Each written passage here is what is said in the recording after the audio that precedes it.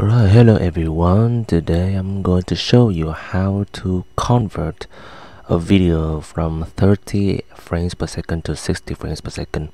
As you can see that um, uh, there is one software that I always use when I convert all the videos from 30 frames per second to 60 frames per second is hybrid and I'm searching on YouTube and right now hybrid uh, this software called hybrid has changed a lot. It's like it changes every every settings before.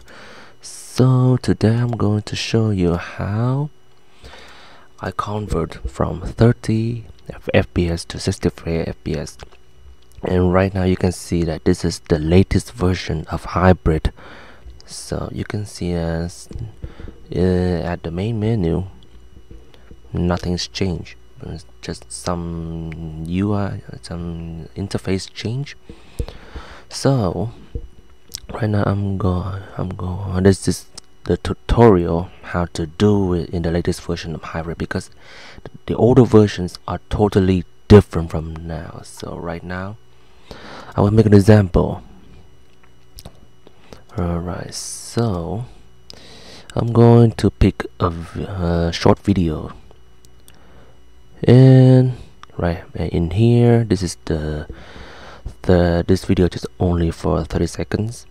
And the, first you change the audio to pass through so that the audio quality will be the same.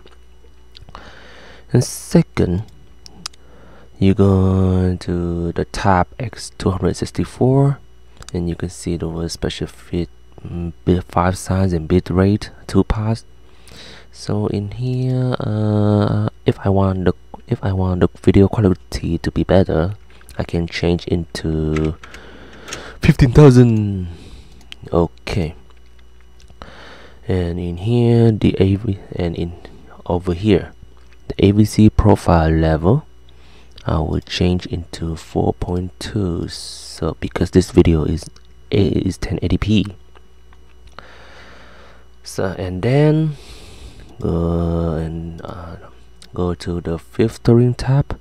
You can see there is a called uh, the interlacer so this video is is not shaking so I don't care about that.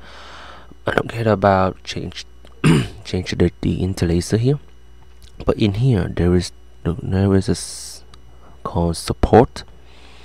Remember to change into AviSynth so that it will be easier.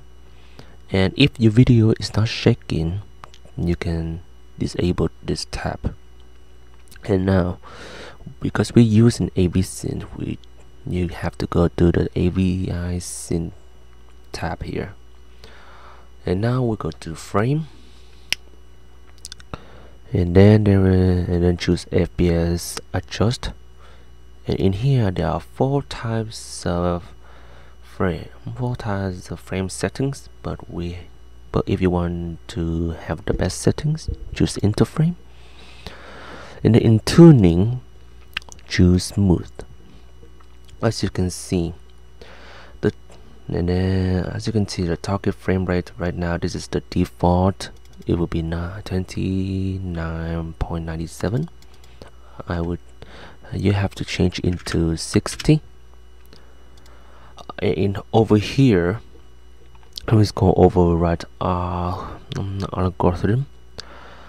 And you see that before at the, the older versions they have the override uh, algorithm is smooth or film or something. But right now it changed into numbers. So to get the best results I recommend you to choose 21 and if your PC has mm, the dedicated GPU you can check it here for faster decoding. Alright. Now for the output I can say that Japan 30 seconds FPS save and now alright let and now the software is decoding uh, this video just only 30 seconds so this will be fast. Uh, being fast. Okay.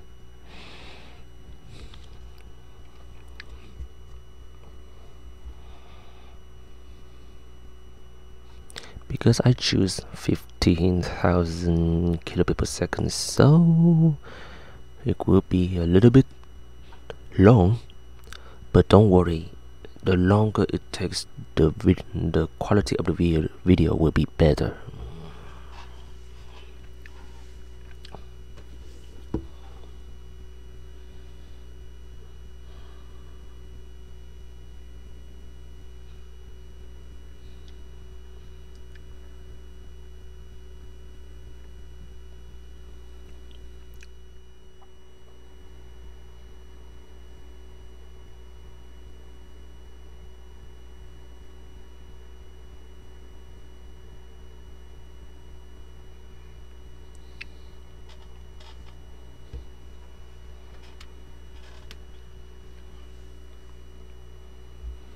Alright, now the video is finished. So I'm going to check it out the results. Alright, so as you can see this is the the original video.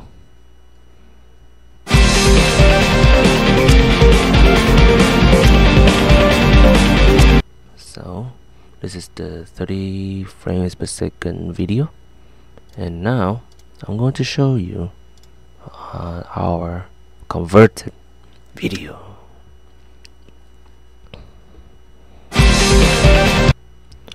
Alright as you can see that the movement is smooth it's so smooth. It's like it's like uh, in real life. Yeah. Well as you can see uh, the movement is smoother so thank you everyone for watching and as always stay safe and remember to like and subscribe to my youtube channel. So thank you very much